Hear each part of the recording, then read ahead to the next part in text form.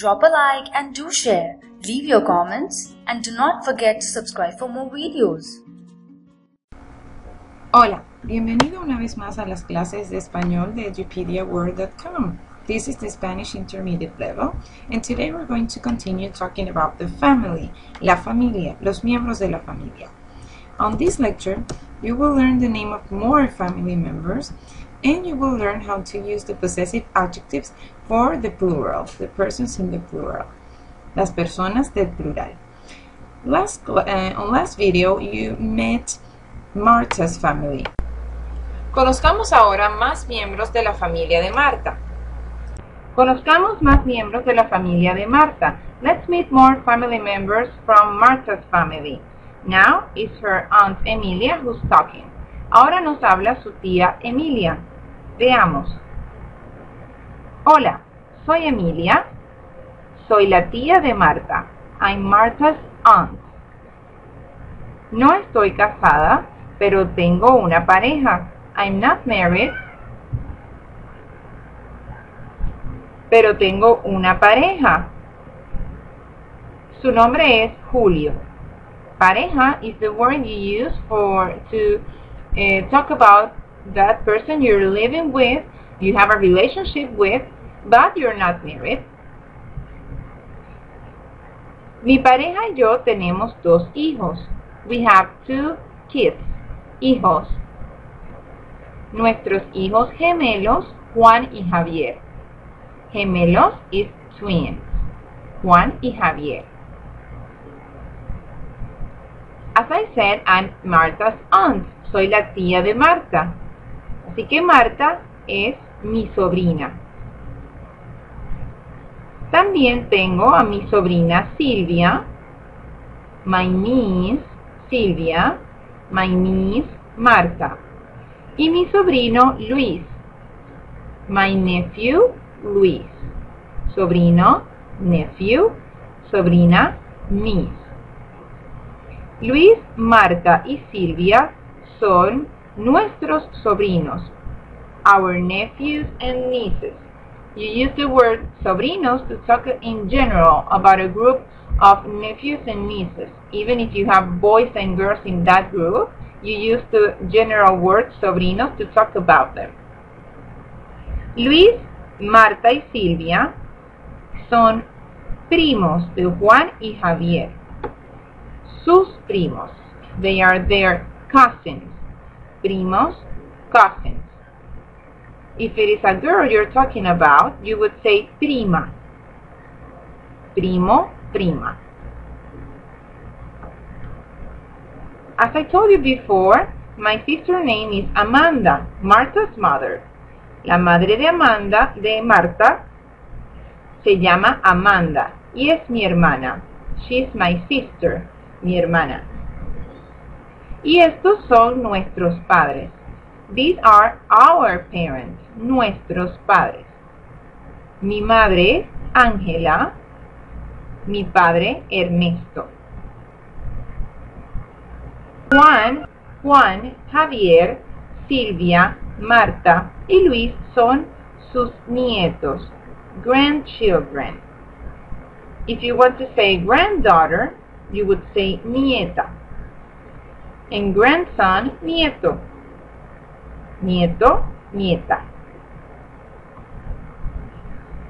My sister's husband, el esposo, husband, de mi hermana, se llama Alfonso. Martha's father, el padre de Marta. Él es mi cuñado. He is my brother-in-law. Cuñado. Sister-in-law would be cuñada. Cuñado, cuñada. Alfonso es el yerno de mi madre y mi padre. Es su yerno. Alfonso is my parents' son-in-law. Yerno, son-in-law. Indira y Ramiro, Alfonso's parents, los padres de Alfonso, son los suegros de mi hermana. Indira es su suegra, her mother-in-law. Ramiro es su suegro. Her father-in-law. Suegra, mother-in-law, suegro, father-in-law. Mi hermana Amanda es su nuera. Her daughter, their daughter-in-law. Nuera, daughter-in-law, yerno, son-in-law, suegro, father-in-law, suegra, mother-in-law, cuñado, brother-in-law, cuñada, sister-in-law. Estos son nuestros abuelos. These are our grandparents, Amanda and I, grandparents. Mi abuela Sandra, my grandmother Sandra, y mi abuelo Emilio, my grandfather Emilio. Mi abuelo y mi abuela son los bisabuelos de Luis, Marta, Silvia, Juan y Javier. Sandra and Emilio are the great grandparents of Juan, Javier, Silvia, Marta, and Luis. Bisabuelos, great grandparents. So, as we said, great grandmother, bisabuela, great grandfather, bisabuelo. Los hermanos de mi cuñado, my brother-in-laws, brothers and sisters, are called concuñados. It's a word you would use in some countries in Latin America. Concuñado, concuñada. Mis concuñados Francisco y Jesús y mi concuñada Julia. Those are my brother-in-law's brothers and sisters. Let's review a little bit some of the possessive adjectives we have already studied. On the last video, en el video pasado, vimos los adjetivos posesivos para el singular. ¿Recuerdas? Recuerda que los adjetivos posesivos acompañan al nombre. They are next to the noun to indicate possession, para indicar la posesión. To indicate who that, who, to whom it belongs, para indicar a quién pertenece. Observa, remember, para el singular, yo, tú, él o ella. If it is feminine, masculine, singular, you would say me, my, tú, without accent, your, su, which is the same in Spanish for his or her. It's the same, su. When it is plural, when you're talking about different things that belong to me, you, or him or her, you would say mis if it belongs to me, mis lápices, for example, tus if, if it belongs to you, tus lápices, your pencils, sus para él o ella, for he and she, if they belong to him or her is the same. Por ejemplo, sus lápices. His pencils or her pencils. Remember on the family tree you already you have you have just seen you have new adjectives, right? New possessive adjectives, nuevos adjetivos posesivos. Ellos son para utilizados para el plural. You use them for the persons of the plural. Can you remember when Aunt Emilia said nuestros sobrinos, nuestros padres? Bien, nuestros is to say that it belongs to us. Nosotros, ours. Let's see for the plural what do we have. Nosotros, if it belongs to us, you have four different ways. If it's something masculine, is one thing masculine, you say nuestro, nuestro hijo. If it is feminine, you would say nuestra hija. If it is plural masculine, you would say nuestros hijos. If it is plural feminine, you would say nuestras hijas. Nuestro, nuestra, nuestros, nuestras. What do you do with vosotros? With you in the plural. Vuestro hijo If it is masculine singular, vuestra hija, femenino singular, vuestros hijos, masculino plural, vuestras hijas, femenino plural. What do you have if you're talking about them, ellos, ellas? As you can see, it's the same as in the singular. Usamos el mismo que el singular. Para masculino singular y femenino singular, you would say su, su hijo, their son, su hija, their daughter.